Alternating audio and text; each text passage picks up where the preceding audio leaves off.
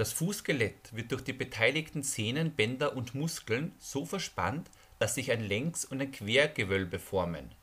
Die Gewölbe ermöglichen Unebenheiten optimal auszugleichen und die Druckkräfte optimal zu verteilen. Das Fußgewölbe hat somit eine Stoßdämpferfunktion. Ist das Fußgewölbe nicht richtig ausgebildet, führt dies zu Schmerzen beim Gehen oder Laufen. Häufig kommt der Spreizfuß vor hier kommt es zum Absinken des Quergewölbes, wodurch sich der Vorfuß verbreitert und somit eine erhöhte Druckbelastung des zweiten bis vierten Metatarsalköpfchen kommt. Beim Platt oder Senkfuß kommt es zu einer Abflachung des Längsgewölbes und zum Fußsohlenschmerz.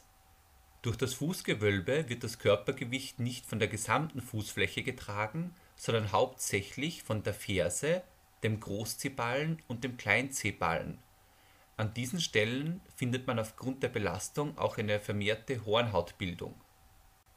Für die Aufrechterhaltung des Quergewölbes sind sowohl passive Strukturen wie Bänder, aber auch aktive Strukturen wie Muskeln verantwortlich. Im Vorfuß gibt es nur eine passive Verspannungsstruktur durch das Ligamentum metatarsenum transversum profundum. Im Mittelfußbereich ist die wichtigste Verspannungsstruktur das Caput transversum des Musculus adductor hallucis. Im Fußwurzelbereich ist die wichtigste Verspannungsstruktur die Ansatzsehne des Musculus peroneus longus, die vom ventralen Fußrand quer durch die Fußsohle zum Keilbein 1 und zum ersten Mittelfußknochen zieht. Ebenso wie der Musculus peroneus longus ist auch der Musculus tibialis posterior wichtig sowohl für die Verspannung des Längsgewölbes als auch des Quergewölbes. Das Längsgewölbe flacht nach lateral ab und erhält die wichtigsten aktiven Verspannungsstrukturen durch die kurzen Fußmuskeln, den Musculus abductor hallucis, Musculus flexor hallucis brevis, Musculus flexor digitorum brevis, Musculus quadratus plantae und den Musculus abductor digiti minimi